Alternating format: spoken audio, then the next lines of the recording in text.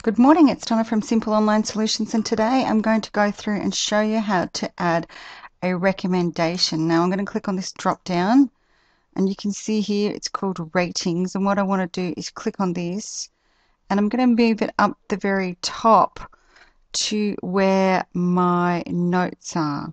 So I click here and you'll notice now that it will pop up the top because I think on this welcome tab it's ready for an update and it's something that I should be doing so I want to move that one out the road.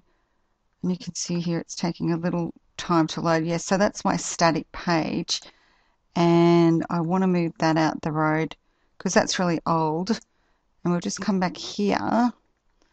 And I'm going to change over for this rating. So I'll move it over in a minute. So with the ratings when I click here You'll notice now, now I only just installed this, so I'm going to show you how to use it in a minute. Come over here to where it says get this app and you can go through and install exactly the same thing on your Facebook page.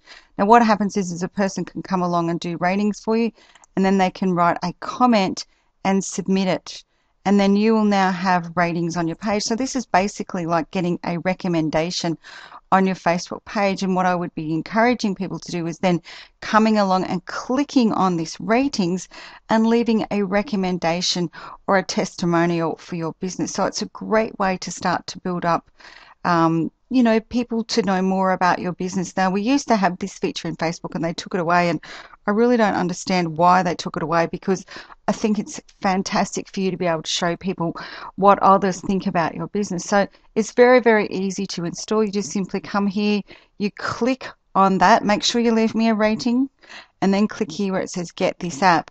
And all you need to do is go over to that app and agree to adding it to your page and you say add ratings tab to this page by clicking there and then it asks you to choose the page that you wish to go through and add it to.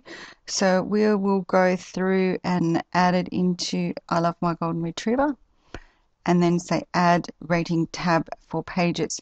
Now once you're on this particular page, there it is there, but you do need to click it and you do need to go through and authorize the tab application so that it's allowed to go through and work on your page. So that is how easy it is to come through and add a recommendation. Please uh, go through and set it up on your Facebook page. Don't forget to leave me a rating. Love to hear from you and uh, look forward to seeing you again tomorrow on Simple Online Solutions. Take care and have an awesome day.